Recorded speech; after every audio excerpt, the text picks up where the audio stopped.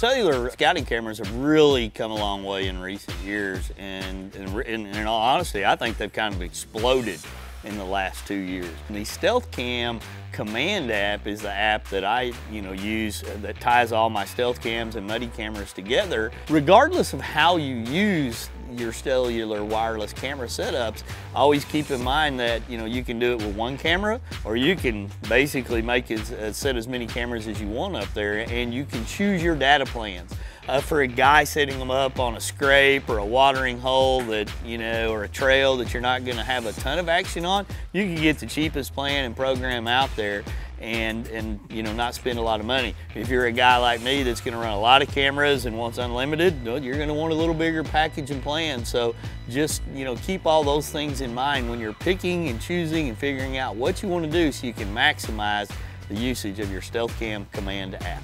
And when you look at a wireless camera like this Fusion, it's very simple to set up. You know, use a QR code, put your batteries in, use a QR code uh, off the app, get it all set up, and you can monitor. It's gonna tell you when you've got new uploads, and, and for me, that's an exciting thing all day long. People are using them in so many different means and methods to, number one, avoid going into hunting areas until it's right. Uh, they, they also use it to, to manage their properties long distances, uh, help choose their stands. And, and really for me, I use it for entertainment value because now I can monitor my cameras all the time.